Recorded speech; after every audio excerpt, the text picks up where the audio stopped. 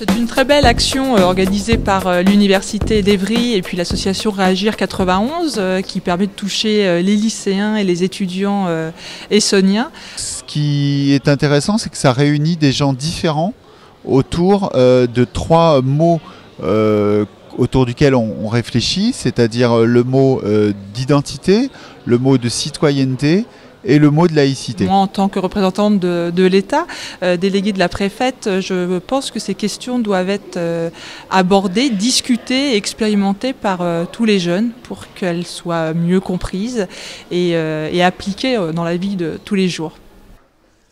Bah, bienvenue à l'Université d'Evry, je vois qu'il y a une belle jeunesse. En tout cas, c'est un, un, vrai plaisir de, de vous voir ici, de vous voir nombreux, nombreuses, multiples, souriants, pleins d'élan. Donc c'est avec plaisir qu'aujourd'hui nous nous réunissons pour la troisième fois à l'initiative de l'association Réagir 91, 91 hein, pour l'Essonne, c'est déjà une fierté, pour organiser avec cette association une conférence débat centrée sur trois questions sociétales de première importance. Qu'est-ce que la notion d'identité variable?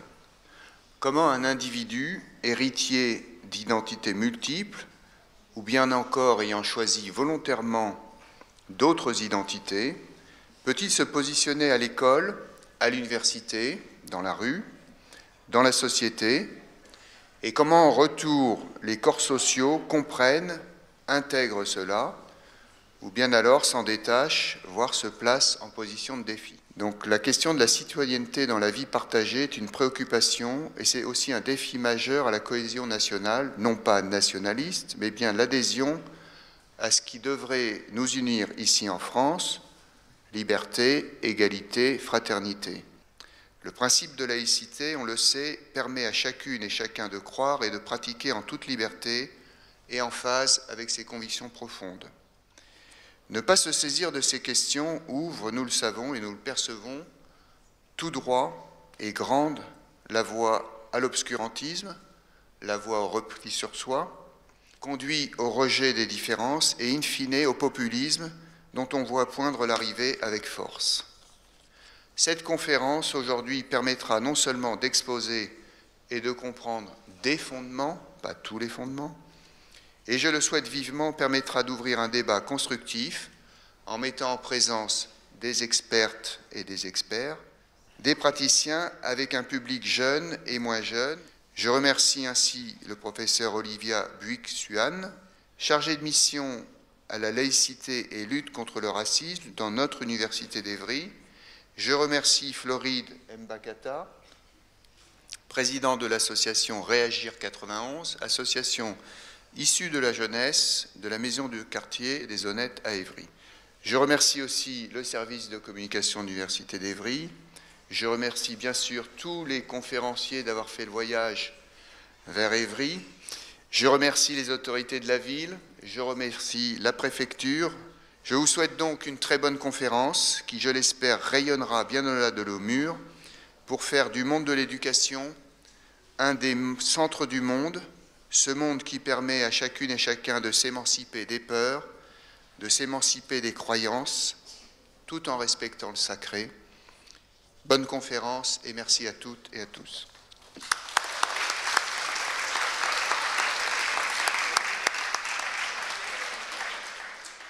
La notion d'identité renvoie le plus souvent à l'idée de singularité.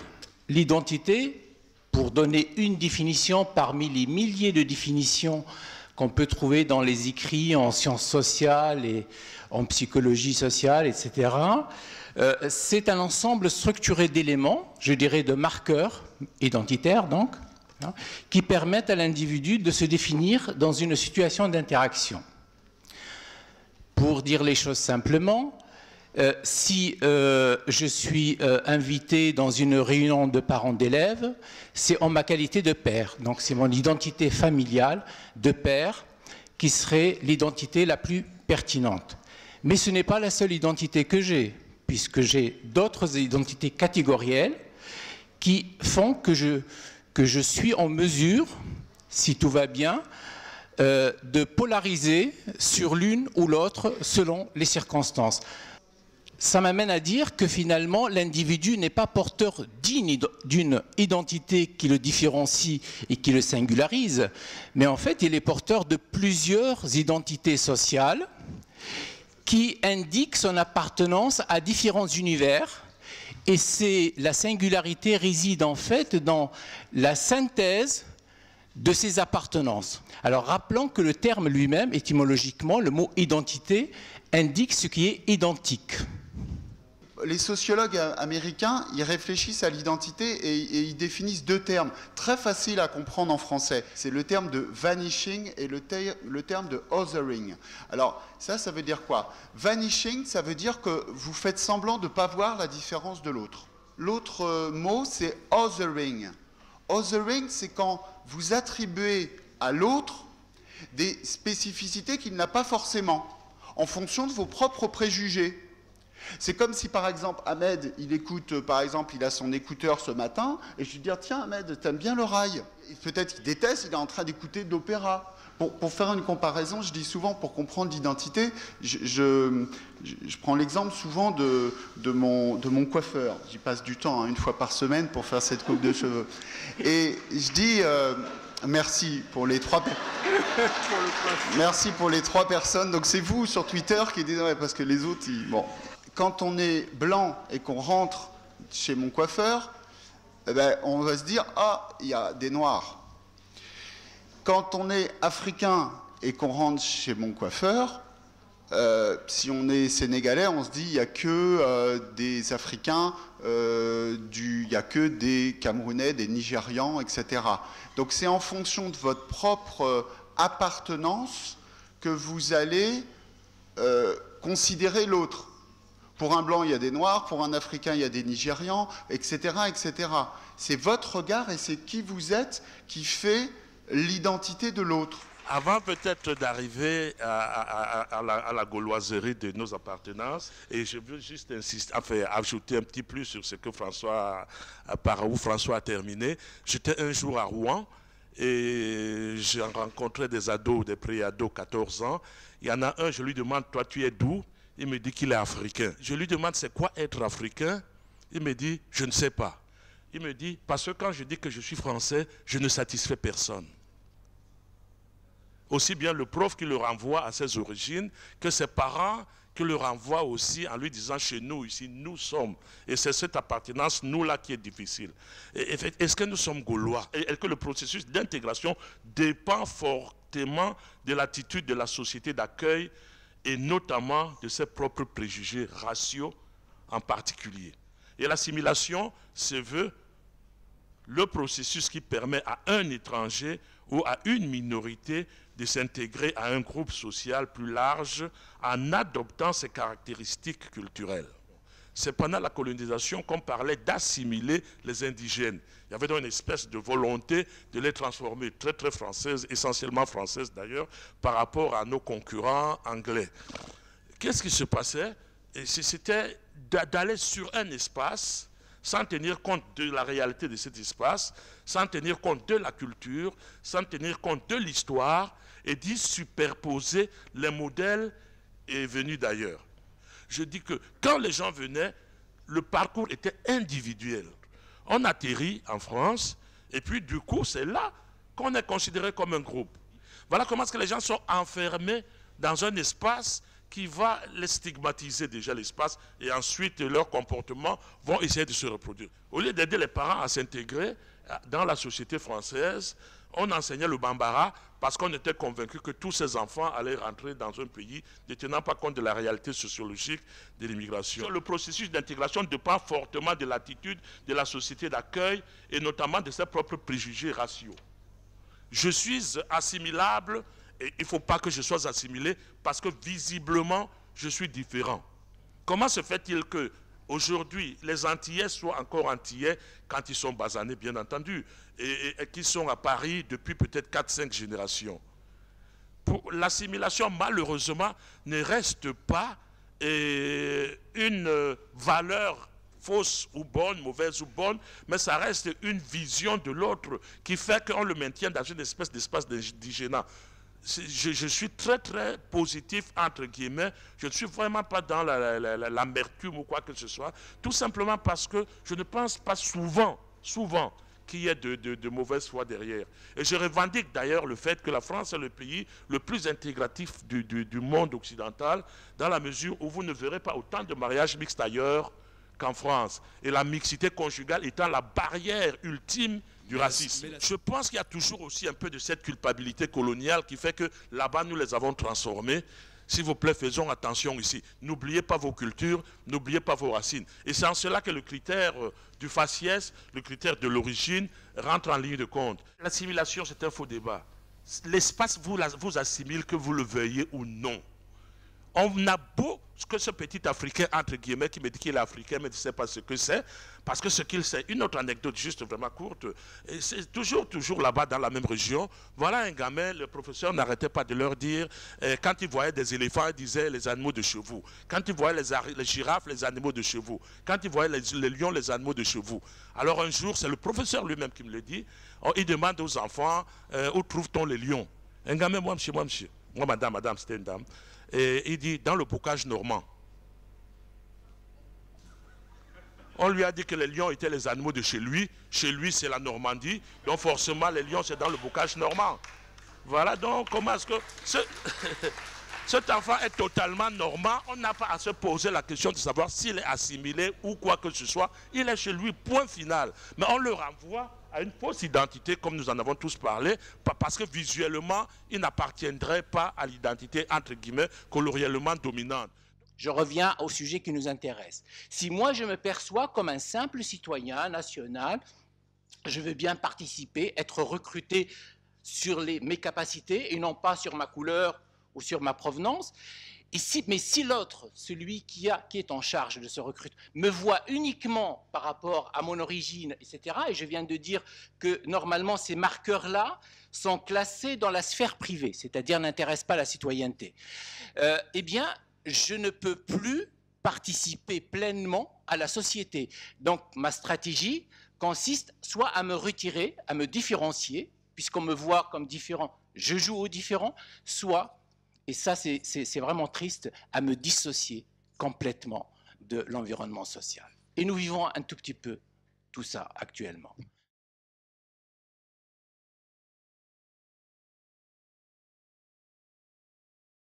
Euh, ce que je vous propose de faire, c'est de répondre à des questions pour savoir si vous savez ce que c'est la laïcité, si vous en connaissez les cadres juridiques, si vous connaissez les implications aussi euh, de ce principe. Qu'est-ce qu'implique la laïcité? Alors, est-ce que c'est l'interdiction des religions? Si vous pensez que c'est l'interdiction des religions, eh bien, il vous faut euh, taper A. Euh, le financement des religions par l'État, ce serait la réponse B. La séparation des églises et de l'État, Réponse C. La liberté de croyance et de culte, réponse D. Et euh, la séparation des églises et de l'État et la liberté de croyance et de culte, c'est la réponse E. Alors, si ça fonctionne, je vais passer par euh, l'ordinateur. Est-ce que vous avez tous voté? Bien. Alors, je vois que vous vous intéressez déjà à la question de la laïcité puisque euh, une énorme majorité des participants a répondu donc eux, c'est-à-dire euh, la séparation des églises et de l'État et la liberté de croyance et de culte. Donc il y a 2% qui ont répondu l'interdiction des religions, donc non, la laïcité ce n'est pas l'interdiction des religions. 2% qui ont répondu euh, le financement des religions par l'État, non, non, non, on va le voir, mais ce n'est absolument pas euh, le financement des religions par l'État. Alors certains ont répondu à hauteur de 10% la séparation des églises et d'État. Là, c'est vrai, mais la réponse est incomplète. D'accord? Et c'est pareil pour euh, la réponse D, la liberté de croyance et de culte. Euh, c'est vrai, mais la réponse est incomplète. Alors c'est l'occasion pour nous d'indiquer les fondements juridiques de la laïcité. Je suis certaine que vous en connaissez un certain nombre, on en a cité ici. On va essayer d'en recenser quelques-uns, d'accord? Euh, le premier qu'on peut citer, c'est certainement euh, la loi du 30 octobre 1886 sur l'organisation de l'enseignement primaire. Et notamment, euh, l'article 7 indique, dans les écoles publiques de tout ordre, l'enseignement est exclusivement confié à un personnel laïque. Alors ensuite, comme autre fondement euh, législatif, il y a la loi du 9 décembre 1905 concernant la séparation des églises et de l'État, dont on fête aujourd'hui le 111e anniversaire. Et parfois on l'oublie, l'article 1er dispose La République assure la liberté de conscience. La liberté de conscience, qu'est-ce que c'est? C'est la liberté de croire et la liberté de ne pas croire. Elle garantit le libre exercice des cultes sur les seules restrictions édictées dans l'intérêt de l'ordre public. Après, on connaît beaucoup mieux euh, l'article 2. La République ne reconnaît, ne salarie, ne subventionne aucun culte. Et puis, euh, j'ai mis en évidence aussi un autre article qui est assez connu, l'article 28 de la loi de 1905, qui prohibe la position de signes ou emblèmes religieux sur les monuments publics ou en quelque emplacement public que ce soit, à l'exception des édifices servant au culte, des terrains de sépulture dans les cimetières, des monuments funéraires, ainsi que des musées ou expositions. D'accord? Donc, historiquement et juridiquement, c'est surtout la loi du 9 décembre 1905 qui fonde euh, la laïcité française.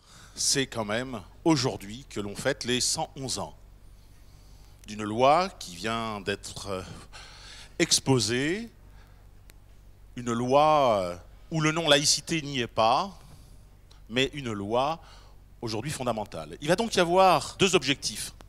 Le premier, c'est vous dire pourquoi la laïcité n'est pas une valeur, mais un régime.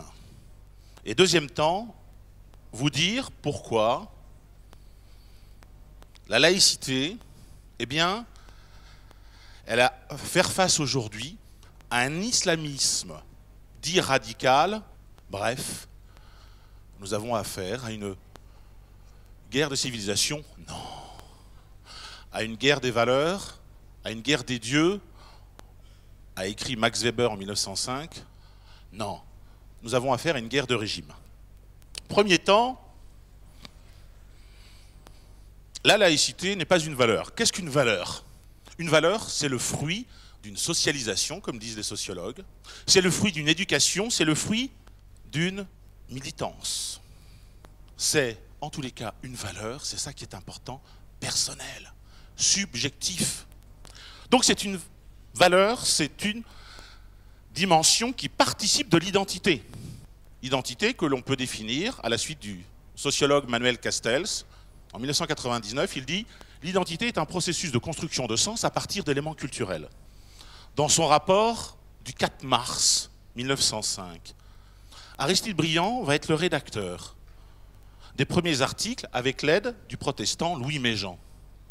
Qu'est-ce que nous dit Aristide? Il écrit Vu la diversité des croyances en France, seul un régime de paix, un régime loyal de séparation des églises et de l'État garantit les droits, les libertés de chacun. Cette solution nous est indiquée par l'histoire. Qu'est-ce que ça veut dire? Pourquoi Briand nous dit indiqué par l'histoire Il a deux souvenirs en tête. Le premier, d'abord, c'est qu'il euh, a lu Montaigne, il a fait de l'histoire à l'école normale, et notamment l'histoire des guerres de religion. C'est quoi les guerres de religion? En chiffres et en actes. Les guerres de religion, c'est d'abord 85 années. Aristide, il a ça en tête. il a en tête que c'est un régime de paix, un régime de séparation, avec deux piliers. Liberté de conscience absolue. Et la paix, en droit public français, ça s'appelle l'ordre public, notamment alimenté par la jurisprudence du Conseil d'État. Deuxième souvenir d'Aristide, c'est que il se souvient qu'il y a une déclaration des droits de l'homme, son article 10, il dit nul ne doit être inquiété pour ses opinions, Principe général classique des, Lumières, des philosophes des Lumières, même religieuses. Aristide Briand, il a ça en tête. Et donc il va faire l'article 1 et l'article 2. Ils vous ont été donnés tout à l'heure. Quelques précisions sur ces deux articles fondamentaux. La République assure, en droit public français, assurer, ça veut dire doit mettre tous les moyens, doit mettre tous les moyens, y compris financiers. Elle assure la liberté de conscience. Point. Elle garantit le libre exercice des cultes sous les seules restrictions édictées dans l'intérêt de l'ordre public. Le mot qui est important, liberté. Article 1, c'est fondamental. Liberté de conscience, principe absolu, son expression n'a de cadre que la paix.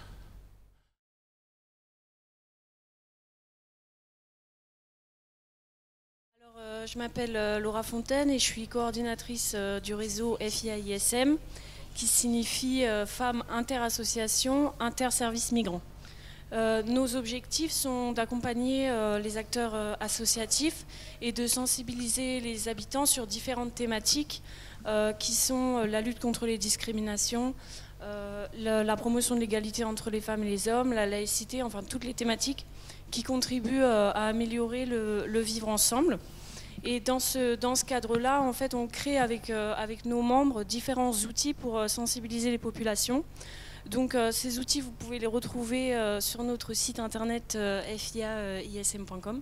Et aussi, ils sont présentés sur le stand que tient l'association Génération 2 ici présente, qui, qui, fait partie en fait de nos membres. On a créé un film avec les médiateurs qui travaillent en quartier politique de, de la ville.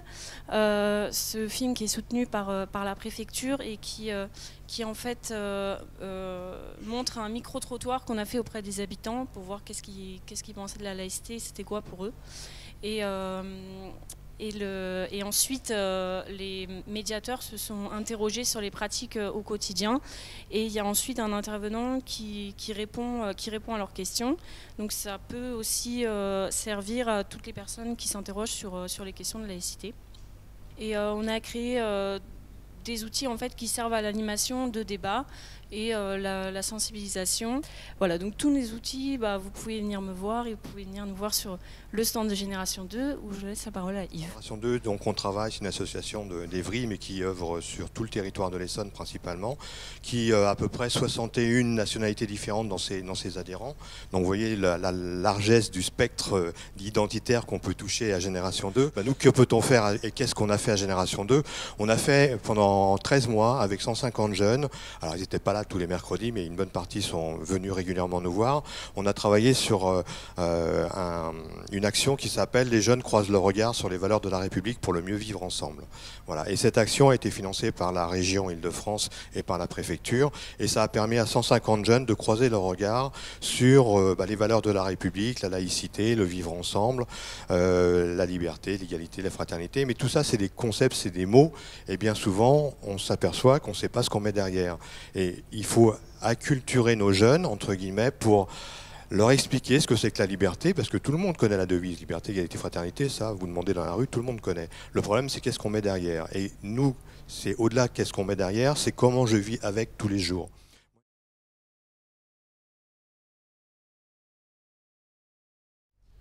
Lorsque j'ai eu à préparer cette intervention,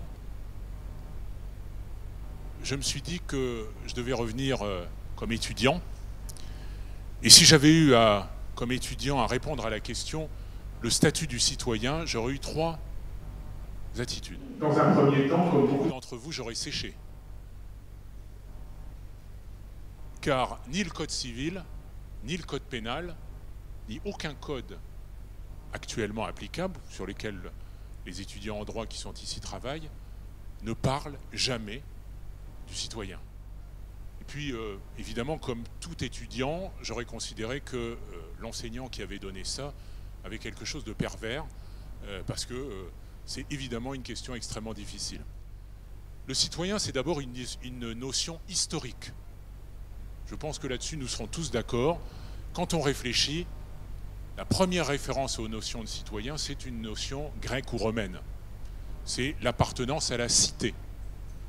Et c'est bien ce concept-là qui a irrigué toute la conception française, mais euh, plus particulièrement occidentale, européenne occidentale, que cette notion de citoyen, appartenance à une cité.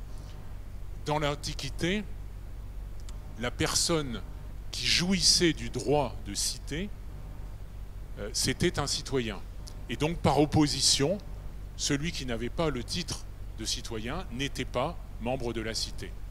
Et ça donnait donc des droits particuliers, et notamment celui de participer aux délibérations, aux assemblées, aux agoras, pour reprendre un thème évidemment euh, important ici sur la ville d'Evry. L'école est obligatoire, enfin plus exactement c'est l'éducation, mais on va dire l'école est obligatoire, et donc c'est aussi un devoir euh, et un droit. On a droit à être éduqué, donc on a le devoir d'être éduqué.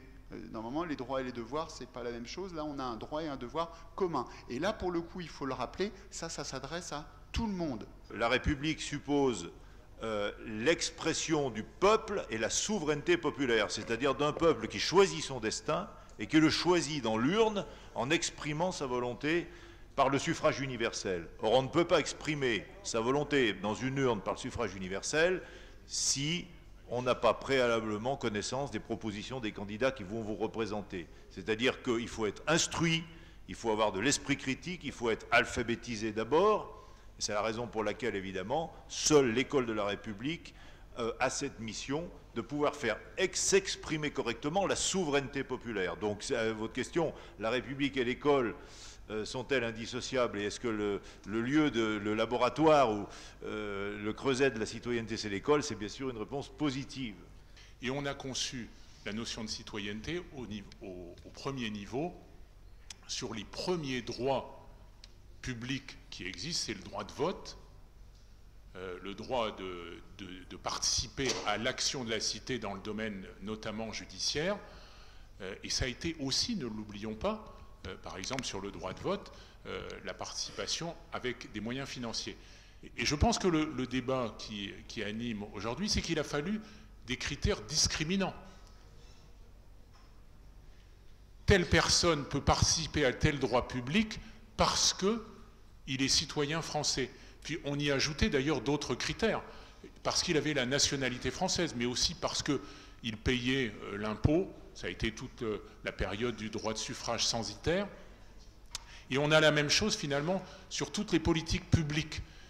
Il y a des critères discriminants qui font que lorsqu'on a un droit public qui existe, certains sont accessibles à ce droit, d'autres ne le sont pas. Et le critère discriminant peut être le fait d'être citoyen ou de ne pas être citoyen. Ça a été euh, très fort pour le droit de vote, mais comme l'a indiqué tout à l'heure M. Durper, le droit de vote, ce n'est pas seulement lié à la question de citoyenneté. On peut être mineur, être citoyen, parce qu'on va participer à certaines politiques publiques, mais en revanche, ne pas avoir le droit de vote. Vous voyez donc qu'il y a des critères distincts qui s'opèrent euh, dans la société. Il ne faut pas faire un clivage en disant on est citoyen, on a droit à toutes les politiques publiques, on n'est pas citoyen, on n'a pas droit à tous les droits publics. Vous voyez, c'est ça qui me paraît important. Je salue l'initiative à deux titres. D'une part, c'est ici à Évry, avec toute cette diversité de croyances et cette richesse, bien joué. Et d'autre part, je salue aussi l'organisation et la structuration des intervenants, des débats, des dialogues, puisque ça permet d'aborder quand même ces notions fondamentales aujourd'hui, citoyenneté, identité, laïcité. Cette conférence aujourd'hui donc euh, est une fierté pour l'université d'Evry. Nous apportons notre pierre en matière de savoir et de diffusion des savoirs sur ces trois éléments, identité, laïcité, citoyenneté, car nous croyons que l'université est un des centres du monde, centre du savoir, qui permet à chacun de surmonter ses peurs, de surmonter les croyances non fondées, et elles sont nombreuses, et qui mènent tout cela vers la liberté.